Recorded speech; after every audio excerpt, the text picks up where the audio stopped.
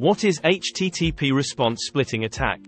HTTP response splitting entails a kind of attack in which an attacker can fiddle with response headers that will be seen by the client. The attack is simple.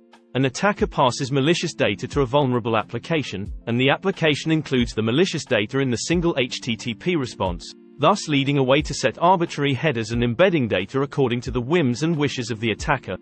In the HTTP splitting attack, there are always three parties involved. Point 1. Web server 2. Victim 3. The attacker who initiates the attack. What is an HTTP host header attack? HTTP host header attacks exploit vulnerable websites that do not sanitize the value of the host header.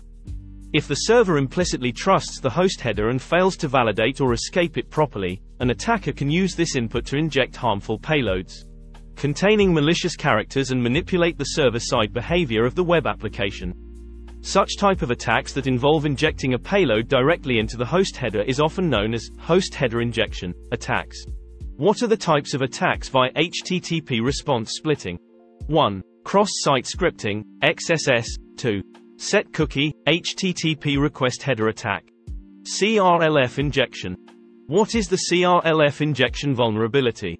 In a CRLF injection attack, the attacker inserts the carriage return, CR, and line feed, LF characters into user input to manipulate the server, the web application, or the user into thinking that an object has terminated and another one has started. CRLF injection in web applications. CRLF injection can have a vital impact on the content supplied in a web browser. It depends on how the application interprets the request block. The impact of this attack can vary from information disclosure to code execution.